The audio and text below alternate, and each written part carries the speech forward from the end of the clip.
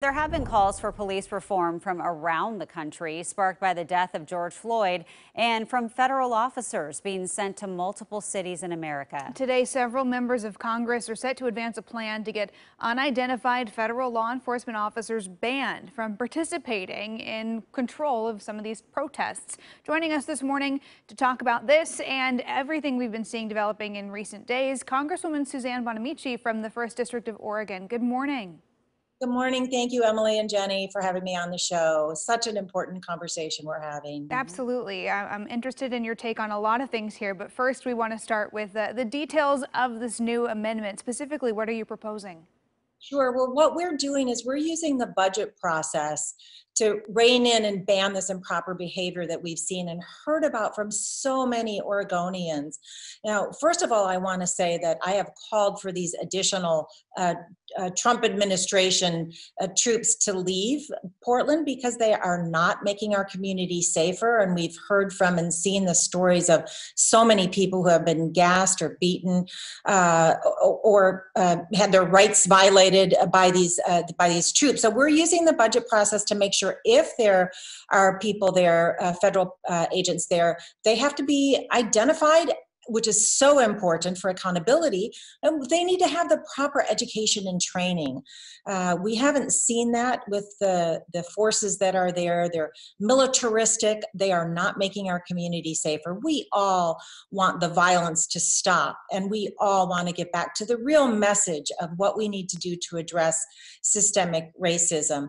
And I have to say, this the sending in of these federal troops by the administration has, has been in large part uh, because the president has so woefully failed to address the coronavirus pandemic.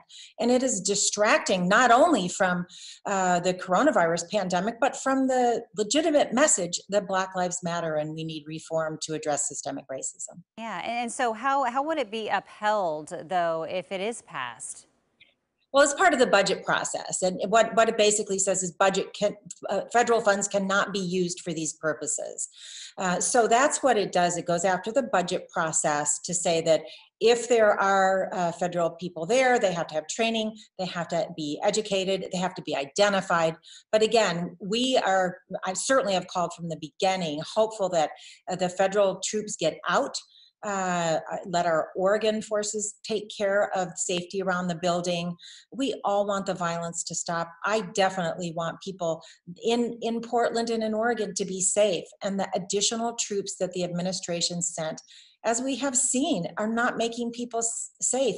I really appreciated. I watched your series of interviews with veterans who were there last night. We've seen you know, veterans and moms and dads and professors and doctors uh, step up and say, "We have a right to peacefully protest," and this the, the troops have been a big distraction from that. We have seen so many more people coming into these protests. Uh, the federal response became a little more heavy-handed. Uh, Congresswoman, I'm interested kind of in your reaction to uh, just what we've seen in the last 24 hours even and, and how we could potentially wind this down. We're getting different messages from state and local leaders uh, compared to what we're hearing from the federal government. Just a few minutes ago, the president tweeted this morning, uh, Oregon Governor Kate Brown is not doing her job. And if Oregon can't clean this up, the federal government will come in and do it for her. So uh, just how, how do we resolve this? How do we de-escalate from here? Well, thank you. And I absolutely disagree with the president and and and that tweet. They haven't given the Fed, the state uh, uh, officials the opportunity to do the job. They have increased tensions, increased violence when we really need to de escalate. So, those additional federal forces need to leave. And as we've seen this morning, as you just have shown, uh, the governor has asked the Oregon State Police to come in. We need to have conversations with people on the ground there, the leaders of the movement, of the Black Lives Matter movement, and involve the community in the conversation about how do we get the message out. Uh, but it is clear, and I can't say say this strongly enough. People are protesting police brutality.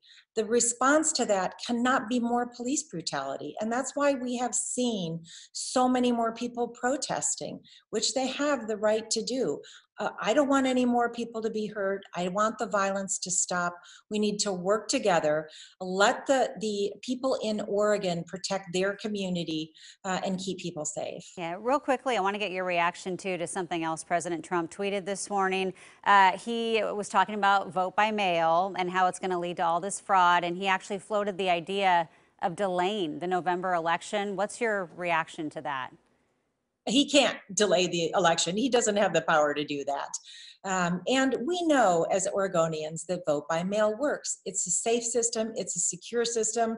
I mean, good grief, the president himself votes by mail. So the, the fact that he is trying to use, again, a distraction to take attention away from his failed leadership in managing the coronavirus uh, pandemic and his failed leadership in, in addressing systemic racism, uh, he, he comes up with a distraction and a deflection. He can't postpone the election that won't happen. Okay. And Oregonians, we know vote by mail works.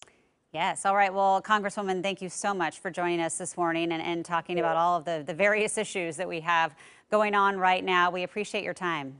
Thank you so much.